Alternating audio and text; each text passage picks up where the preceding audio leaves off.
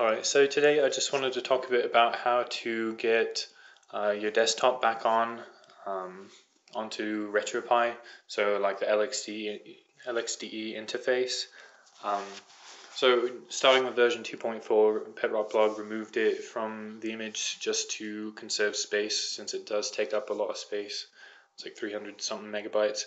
Um, anyways, so you might be trying to type in start X and it might not work because it's not there anymore. So um, I'll show you how to get that back because um, some people like the desktop interface. So you just type in sudo um, sudo apt-get install um, lxde.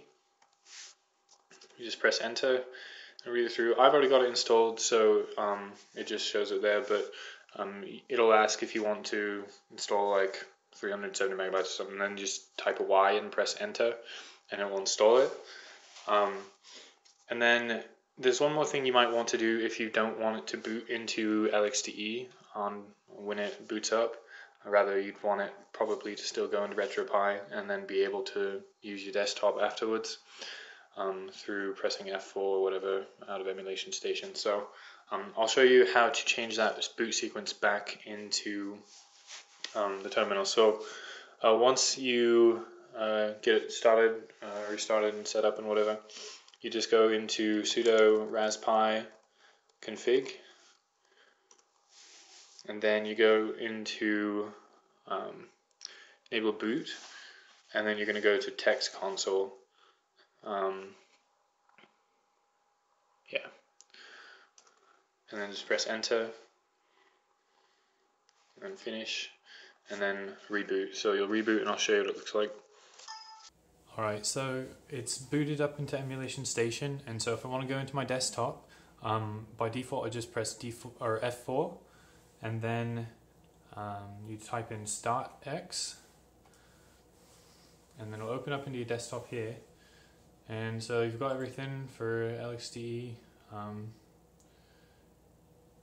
so that sort of look like, and then um, I'm going to log out and show you one more thing that you could do with it.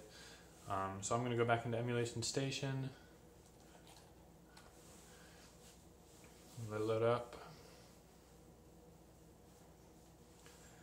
So I've modified the RetroPie menu that's part of the most recent binary install, and I've added, um, goodness, so I've added LXDE desktop in here, so now I can open it from Emulation Station. So press that and it opens up into it. And then as soon as you log out again, it'll take you right back to Emulation Station. So it's a little more convenient than going back in the command line and typing Emulation Station back in and all that. So I'll show you how to configure that next, um, if you like that functionality a little better. So we'll go to that next.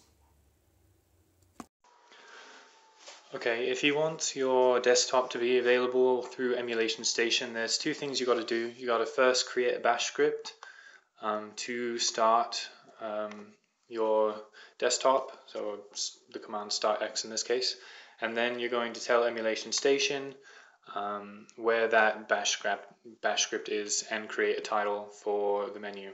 So um, I'll show you how to go through that just through WinSCP. So we're going to locate our um, home pi, RetroPie, RetroPie menu, and of course this is the most updated, so you're going to have to do a full binary install in order to get this menu. Um, otherwise you won't have it by default in 2.6. So uh, RetroPie menu, so I've already added it as desktop.sh, but if you want to add it from here, you can just click Files, New, New File, and then um, this is what it looks like. It's just two two simple lines. You put it in there, you save it, um, and then you're good to go for that. Um, and then, so now we've created the bash script called desktop.sh. Then we're going to go back into home pi, um, and then the dot emulation station, and then game lists. And then we're going to go down to our RetroPie menu, and then gamelist.xml, right click and click edit and then we're going to scroll all the way down to the bottom and we're just going to add this little section here well I guess it's Okay, right here. I added it to the bottom before, but I guess I alphabetized it. So, um, anyways, that's all you're going to add. You don't need to worry about the play count or last play. That was just because I've opened it since then. Um, but yeah, you only need to add this little section at the bottom there. And then you can save it on the game list. And then once you go back in, it'll be available in your menu. And so, and you can name this whatever you want. If you don't want to name it LXDE desktop, you can name it computer, desktop, or I don't know, StartX, whatever you want it to be in the menu. Um, and then that way, when you select the menu, just like we did in that um, a little earlier, um, it'll it'll work for you as well. So hopefully that will make your life a little easier, a little more convenient.